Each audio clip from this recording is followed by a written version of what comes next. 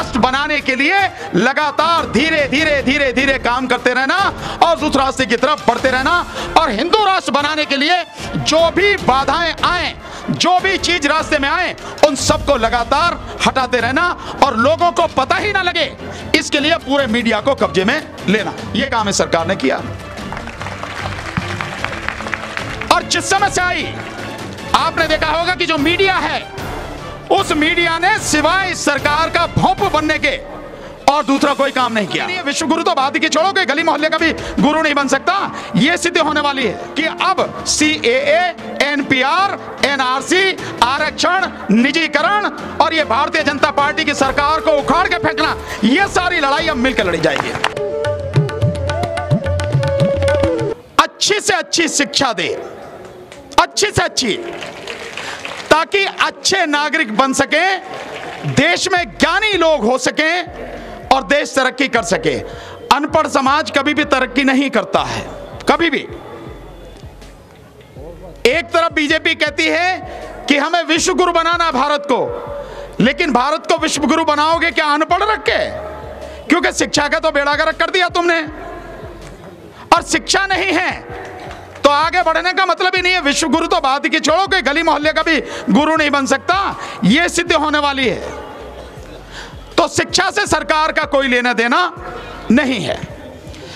मैं लगातार गाँव गाँव जाता रहा हूँ और 2010 से मैं लगातार गाँव गाँव में घूमा हूँ। अब तक तकरीबन दस हज़ार गाँव मैंने घूमे हैं और लोगों को गाँव गाँव जाके मैंने समझाया। घर से सुबह चार बजे निकल के रोटी बना के पराठे बनाए और ले गए। हम चार पाँच साथी गाड़ी में, मेरी में रहते थे और पाँच छह गाँव जो भी कवर हो जाते थे, हम करते थे। इस तरह से मैंने अब तक दस हज़ार गाँव करे। और उसके बाद मैंने जाना कि जो शहरों की बुरी हालत है, उससे भी कहीं बदतर हालत गाँव की है। वहाँ तो उनकी कोई सुनने वाला ही नहीं है। और गाँव में हालत यह है कि अगर कोई स्कूल है सरकारी सरकारी स्कूल में बच्चे, कहीं पे सौ हैं, कहीं पे डेढ़ सौ हैं, कहीं पे दो सौ हैं, कहीं पे साढ़े छः सौ तक भी हैं। और मास्टर कितने हैं? साढ़े छः सौ बच्चों पर तीन मास्टर। तो कितने लोगों को पढ़ाएगा, कितने बच्चों को पढ़ाएगा और क्या पढ़ाएगा? जबकि सरकार कहती है कि तीस बच्चों के ऊपर एक मास्टर होना चाहिए। लेकिन आज तक कोई सरकार आई किसी एक सरकार की बात नहीं कर रहा, किसी एक का नाम लेने की ज़रूरत नहीं, कोई भी सरकार आई। किसी सरकार ने शिक्षा पर ध्यान नहीं दिया। आप सोचते हैं क्यों नहीं दिया? कभी आपके मन में यह बात आती है कि क्यों नहीं दिया?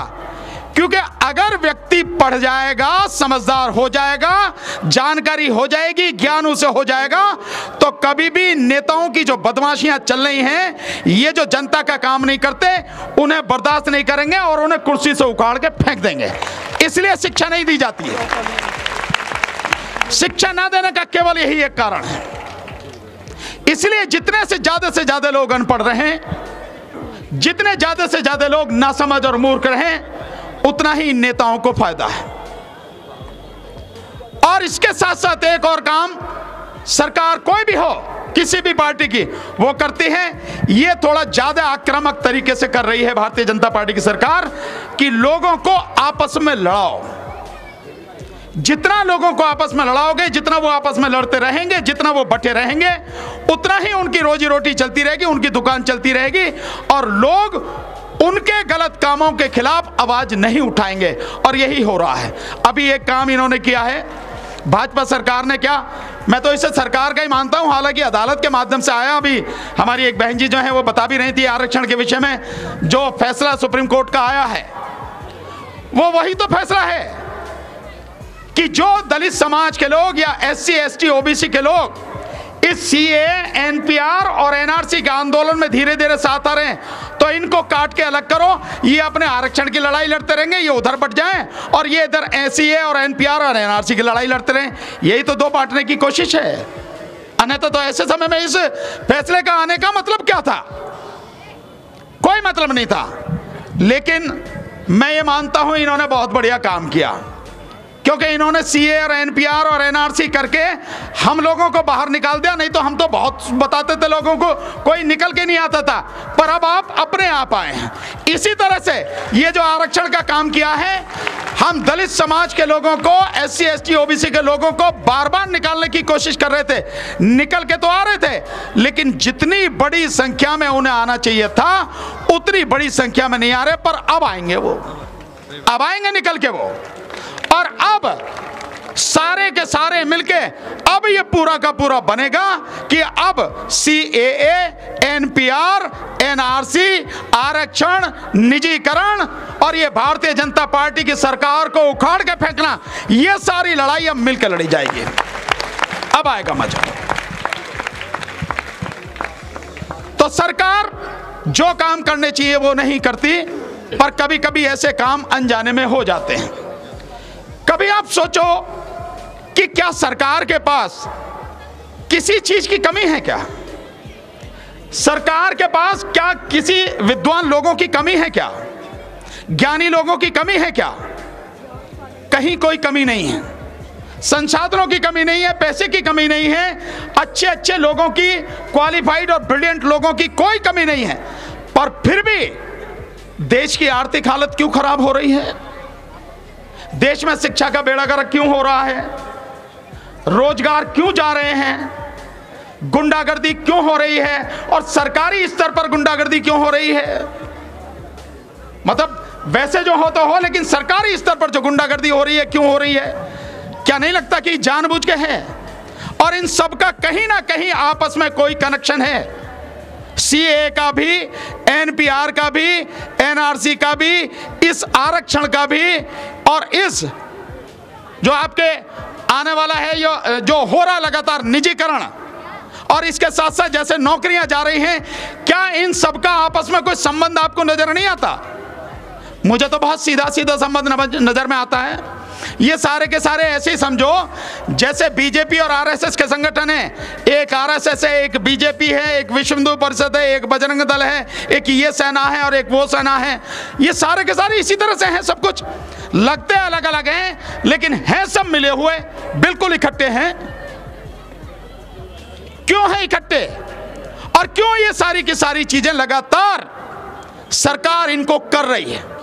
क्या बेवजह कर रही नहीं, हर चीज़ के पीछे कारण है।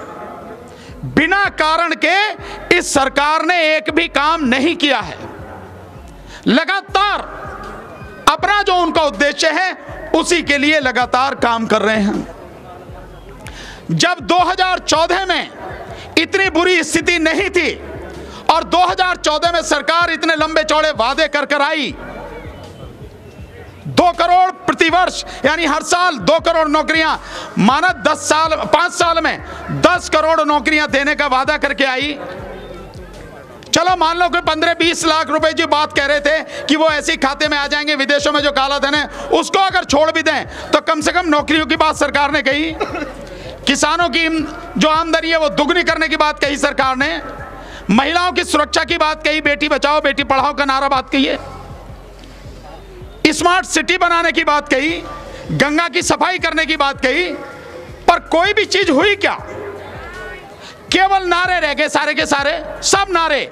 और एक योजनाएँ पिछले पाँच साल में प्रधानमंत्री ने अपने नाम से मतलब सरकारी नाम से होती अलग बात है, किसी और के नाम से होती महापुरुषों शहीदों के नाम पे होती तो समझ में आती खुद प्रधानमंत्री ने अपने नाम से कि प्रधानमंत्री ये योजना, प्रधानमंत्री वो योजना, प्रधानमंत्री ऐसी योजना, प्रधानमंत्री वैसी योजना। एक योजनाएँ प्रधानमंत्री ने उनकी घोषणा की लेकिन किसी योजना में भी काम हुआ नहीं। तो घोषणा क्यों की? क्योंकि लोगों को दिखाना है कि सरकार इतने काम कर रही है। महिलाओं के काम, किसानों के काम, मजदूरों के काम, शिक्षा के लिए काम, डिजिटल इंडिया के लिए काम, सड़कें बनाने के लिए, ढांचा इंफ्रास्ट्रक्चर बनाने के लिए काम, बिजली के लिए काम, सफ़ाई के लिए काम, न जाने कितने तरह के काम। पर कोई भी काम पूरा तो नहीं हुआ। तो वो सब समझ में आना चाहिए कि वो सब एक दिखावा था और वाकई में वो सरकार का एक दिखावा था। उसकी आड़ में जो सरकार का असली काम था वो काम था हिंदू राष्ट्र बनाने के लिए लगातार धीरे धीरे धीरे धीरे काम करते रहना और उस रास्ते की तरफ़ बढ़ते रहना। और हिंदू राष्ट्र बनाने के लिए जो भी बाधाएँ आए, जो भी चीज़ रास्ते में आए, उन सबको लगातार हटाते रहना और लोगों को पता ही ना लगे। इसके लिए पूरे मीडिया को कब्जे में लेना। यह काम है सरकार ने किया। और जिस समय से आई, आपने देखा होगा कि जो मीडिया है, उस मीडिया ने सिवाय सरकार का भोंप बनने के और दूसरा कोई काम नहीं किया। गलत हो, सही हो, गलत हो, सही हो, लेकिन उसने हमेशा जनता को और विपक्ष को गलत ठहराया और सरकार की जितनी भी नीतियाँ हैं, उन सबको सही बता के लगातार ये प्रचार किया। और साथ में प्रचार किया हिंदू मुस्लिम का और हिंदुस्तान और पाकिस्तान का। लगातार ये प्रचार किया।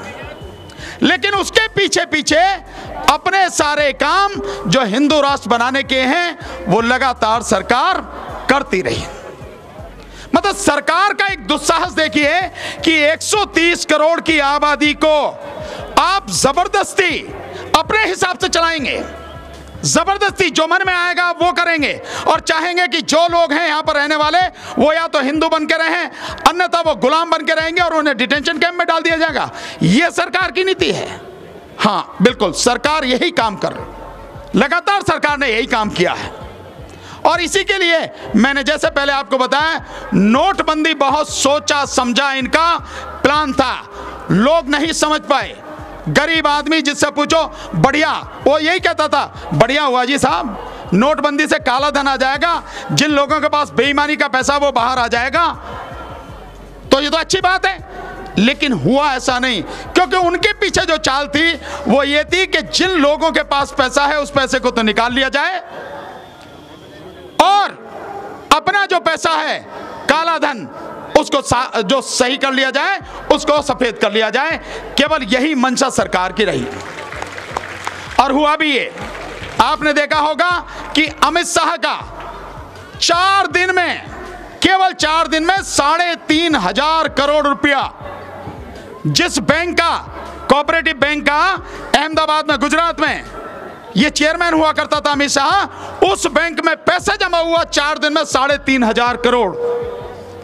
और वो पैसा उतना था कि अगर हमारे देश में जितनी भी गिनती करने की, नोट गिनने की मशीनें हैं, वो सारी मशीनें भी लगाई जाए तो भी चार दिन में उन नोटों की गिनती नहीं हो सकती।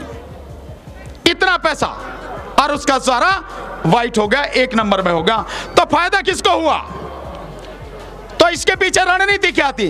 बहुत सीधी सीधी रणनीति थी कि जनता के पास पैसा रहना जाए और जो हमारा पैसा है, वो पैसा सही तरीके से इस्तेमाल हो जाए सफ़ेद हो जाए।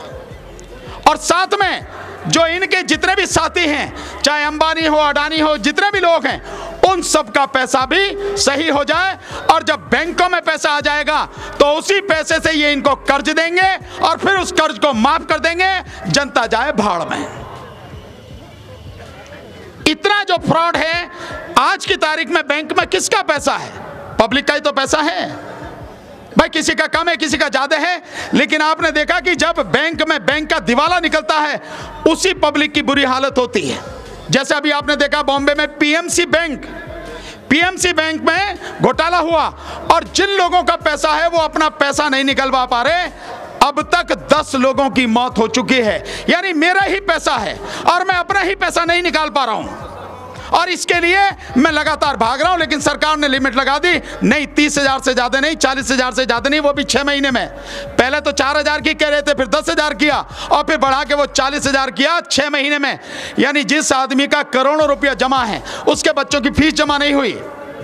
और फ़ीस उसे देनी है। और इसी सदमे में वो व्यक्ति मर गया। अब पैसे का क्या होगा? अपना पैसा नहीं निकाल पा रहा। कौन कर रहा है ये सारे सब कुछ? ये सरकार अपने आप को बताती है कि भ्रष्टाचार किसी हालत में बर्दाश्त नहीं है। तो जब से इस बार दोबारा ये चुनकाई है, तीन सौ चौवन करोड़ रुपए का हर दिन बैंकों में घोटाला हो रहा है। यानी तीन सौ चौवन करोड़ रुपए पब्लिक का पैसा कहाँ चला जा रहा है, किसी को पता नहीं है।